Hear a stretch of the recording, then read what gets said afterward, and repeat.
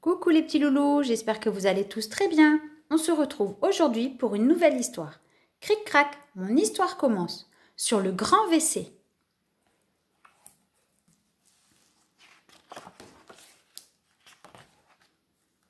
Regarde, c'est le petit pot de Lise. Il y a longtemps que Lise s'assied dessus toute seule. Mais aujourd'hui, Lise ne veut pas aller sur son petit pot, ni pour faire pipi, ni pour faire caca. C'est décidé.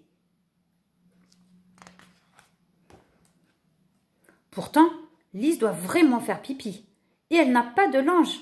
Elle serre les jambes l'une contre l'autre. Elle se retient, mais ça devient urgent.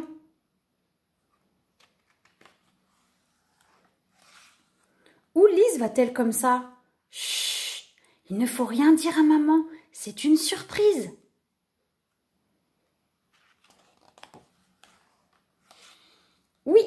C'est ici que Lise veut faire pipi, sur le WC. Il est grand, tout blanc et tout brillant. Et il a un couvercle.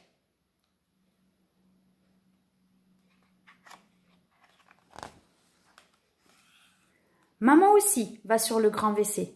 Avec elle, ça va toujours très vite. Et pourtant, elle fait de grands pipis.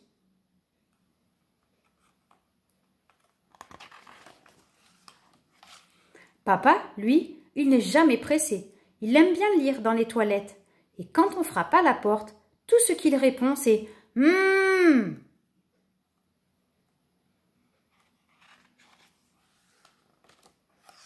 Le frère de Lise fait plus de bruit. Il crie toujours Il y a quelqu'un? Surtout, n'entrez pas. Lui aussi, il lit parfois sur le grand WC.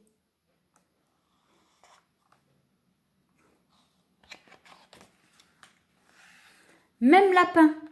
Mais seulement si Lise le tient bien et quand maman ne regarde pas. Lapin ne fait rien, ni pipi, ni caca.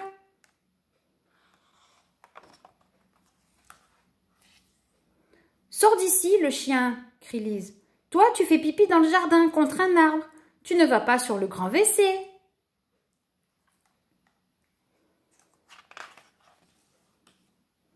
Élise alors, elle, elle va sur le grand WC comme maman. Ah, ça fait du bien.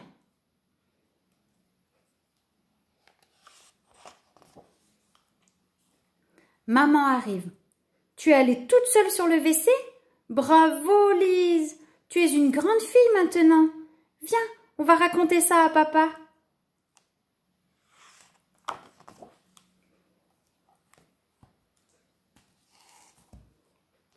Cric crac, mon histoire est terminée. Si tu as aimé cette histoire, laisse-moi un petit pouce bleu et surtout abonne-toi pour savoir quand une nouvelle histoire sera disponible.